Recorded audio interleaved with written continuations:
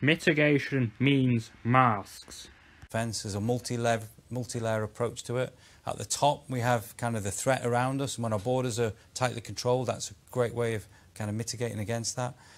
Um, but equally, you know, it, it, it, nothing, no single defence can be can be perfect. And you know, the, the document talks about the next level underneath that are, are border controls, both restrictions in terms of who can come through, and then the controls in terms of what happens to them when they they come through. So our, our isolation type type processes and our testing pathways.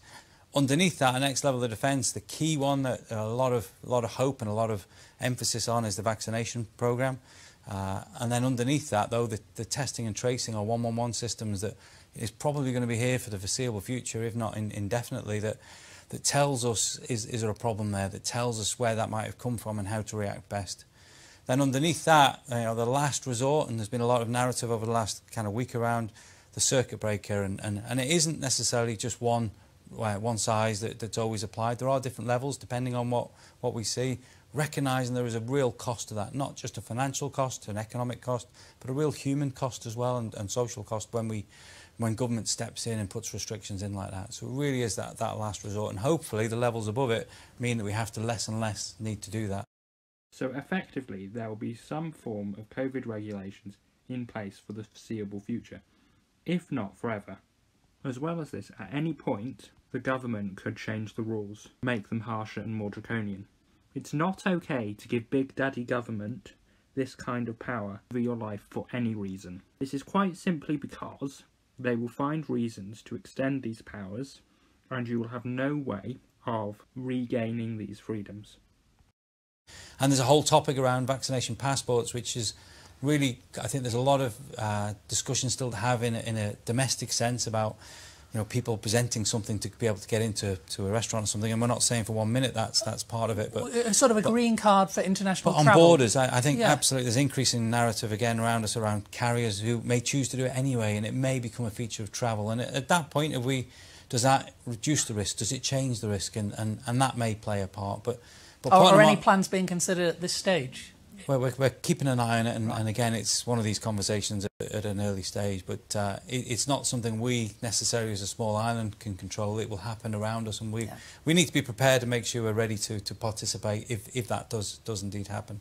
So yes, it will be a hugely difficult uh, difficult period today. We've also announced about the classic TT and the MGP, so and and the Southern Hundred yesterday. So you know, terrible terrible difficult decisions, but we've said before in terms of being there to try and support the industry as best we can. I know politically that that's the desire to carry on, but equally by putting this framework out is to say that, that you know there is some hope. This isn't. Uh, we're not going to live with elimination forever. We do need to move beyond that. We need to move to the point, as Dr. Ewart said, where we, we can live with it a bit more, we can cope, but it has to also be from an educated perspective, and it has to be from an, an informed perspective as we do that.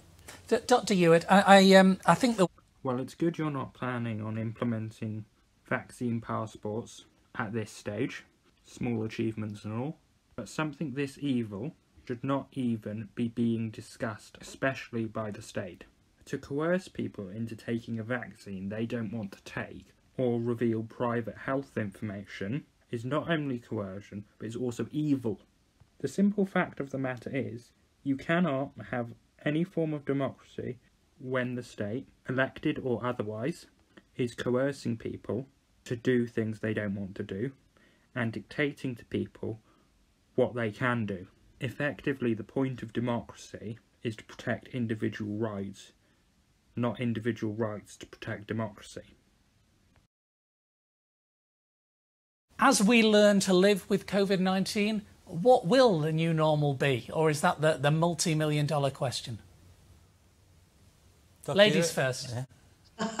I wish I had a crystal ball. Yeah.